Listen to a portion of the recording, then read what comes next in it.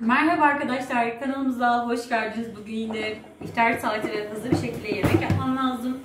Ee, arkadaşlar 40 dakikamız kaldı ve biz çok geç kaldık. Pilav yapacağım, et sote yapacağım ve bunların hepsini bir araya sığdırmaya çalışacağım. Hemen arkadaşlar hızlı bir şekilde tereyağımı güzelce tavanın içine koyuyorum. Biraz daha koyayım. Biraz bol yağlı olsun arkadaşlar. Güzelce soğanlarımı soteleyeceğim. Arkadaşlar biz öncesinden pirinci sıcak suyla haşlıyoruz. İçine karabiber koyacağım. Sonra arkadaşlar burada hindi etim var. Hindi etiyle harika bir et sote yapacağım. Hemen bunları doğramam gerekiyor. Hemen bunları güzelce güzel bir şekilde yapmam gerekiyor ki güzel güzel lezzetli lezzetli yiyelim. Bu arada hemen bir deneyeyim. Bu burada olmayacak arkadaşlar. Hemen şunu yerini bir değiştirmem lazım. Pilav tenceresi. Çünkü hızlı bir şekilde olsun istiyorum. Bunlar bir yandan sotelenirken ben bir yandan arkadaşlar hazırlıkları yapacağım. Hazırlıklarım da şunlar. Et sotenin içine koyacaklarım. Domates, biber, soğan. Soğan daha doğramadım. Bunlar şimdi güzelce sotelensin arkadaşlar. Ben de o sırada bunları güzelce doğrayayım. Arkadaşlar soğandan biraz gözlerim yandı. Soğanları bu arada güzelce kavrukluyorum iyice. Yanmasını istiyorum çünkü. Soğanlarım hafif kavruklandı arkadaşlar. Bir yandan doğruyorum, bir yandan onu yapıyorum. Gerçekten uğraştırıcı oluyor ama yapacağız inşallah. Şimdi ben e, pirinçleri koyuyorum arkadaşlar içine. Annem bu arada pirinçleri iyice şu şekilde şey yapayım. Arkadaşlar pirinçleri de az bir şey kavruklayacağım. Sonra sıcak suyunu koyacağım. Ardından da etleri sotelemeye başlayacağım. Bugün çorba yok. Bugün çorba yapmayacağım. Güzel bir şekilde şunları halledeyim. Şimdi karabiberini ekliyorum. Arkadaşlar karabiber biraz bol koyacağım karabiberini. Karabiberini koydum. Şimdi bunu güzelce güzel bir şekilde suyu çekene kadar arkadaşlar kavruklayacağım. Bu arada altını iyice açtım ki iyice hızlı bir şekilde pişsin.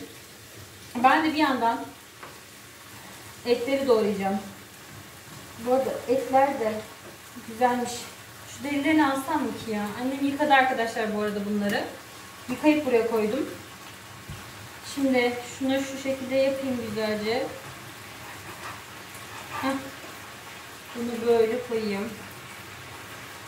Bu şekilde. Hızlı bir şekilde arkadaşlar hindileri de doğrayacağım. Bu arada elim kayıyor ve bıçak tam kesmiyor. Neyse bunu acele etmeme gerek yok. Pilavım güzel olsun gerisi kolay. O yavaş yavaş da hallolur. Burada sofrayı da hazırlamamız gerekiyor bir yandan. Bir yandan bunu yapmam gerekiyor. Arkadaşlar yani hızlı olmam gerekiyor açıkçası. Annemi de bu arada anne sen git dedim ben hallederim. Annemle mutfağa girdiğimiz zaman biz genelde tartışıyoruz. Tartıştığımızdan dolayı da arkadaşlar anneme dedim ki anneciğim lütfen sen git. Yoksa biz seninle anlaşamıyoruz. Gerçekten de öyle oluyor.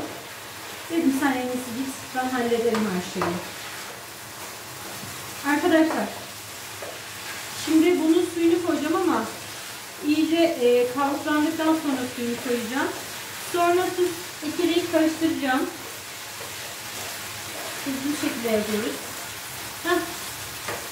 İyice kavruklanması çok önemli.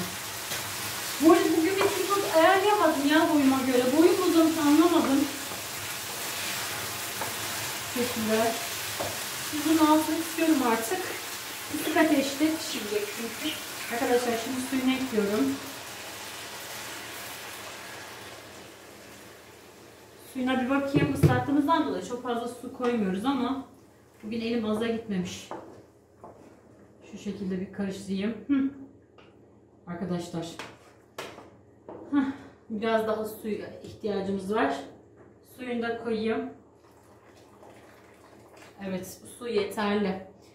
Ardından arkadaşlar tuzunu ekleyeceğim. Ya tavuk suyuyla yaptığımız zaman daha lezzetli oluyor. Bir başka oluyor ama bugün tavuk suyuyla yapamayacağım. Şimdi ben şu etleri doğrayayım arkadaşlar. Kapağını kapatayım ondan sonra görüşelim esote yaparken. Arkadaşlar tavam bu arada ısındı. Ben şimdi hemen etleri koyacağım güzel bir şekilde. Etleri yapmamın, etleri ilk başta koymamın sebebi arkadaşlar şu. Etler güzel bir suyunu çeksin yani sulandığı zaman sulanmasın diye. Arkadaşlar güzel bir şimdi pişsin. Piştikten sonra domatesini, ondan sonra soğanını, biberini koyacağım. İnşallah hızlı bir şekilde yapıp bitireceğim arkadaşlar. Ümit ediyorum ki 20 dakikada yapıp bitirmem lazım. Annem de bu arada bana bunu verdi. Şimdi tavana dibine arkadaşlar yapışıyor ama yapacak bir şey yok. Ben bunu hemen halledeyim. Güzel bir şekilde. Ankara'da ezan okunuyor. Bu arada ben yemeklerimi yaptım. Dünden kalan bezelyem vardı mis gibi. Onu koydum. Turşumu koydum. Yanına ayran yaptım. Bunların hepsini arkadaşlar 40 dakikada hazırladım. Hmm. Evet. 40 dakikada yaptım. Vallahi bak. Pilavı da 40 dakika yani hepsi 40 dakikaya sığdırdım. Ezanımız da okundu. Suyunu içebilirsin. Allah kabul etsin babacığım. Babam da sağ olsun arkadaşlar. El yapımı bak baklava almış. Bu şekilde soframız. Annem de gelsin otursun. Babacığım yiyebilirsin. Yemeye başlayabilirsin. Bugünlük soframız da bu şekilde. Eline sağlık Gülcan Hanım. Güzel olmuş döktürmüşüm. 40 dakikada yaptım bugün. Ben Seni de solladım. Sabahtan beri ben de bahçedeydim. Tavuklarım hali. Şöyle koydum bunu bekledim. Birbirlerini dövüyor ama. Yazık o, o horozun var ya ayağını toparlatmış demin düşürdüler mi ettilerse yukarıdan kaklıyorum derken. Hangisini? Ufak o şeyin horozu. Çilli değil beyaz şey olan karayla. Hmm. Ondan Anneciğim sonra- ekmeğe bence gerek yok bugün. Yok mu? Ben Tamam. ekmek yemeyeceğim daha doğrusu. Veda etti babam böyle yazdık. Ne ettiğini bilmiyor, yoruldu. Arkadaşlar, gelin beraber yiyek diyorum. Gördüğünüz gibi Allah olmayana versin diyorum. Hepinize iyi akşamlar diyorum. Hoşça kalın diyeyim. Gelin beraber yiyek diyorum. Kanalımıza abone olursanız, bize destek olursanız çok memnun olurum. Hoşça kalın canlarım. Hoşçakalın arkadaşlar.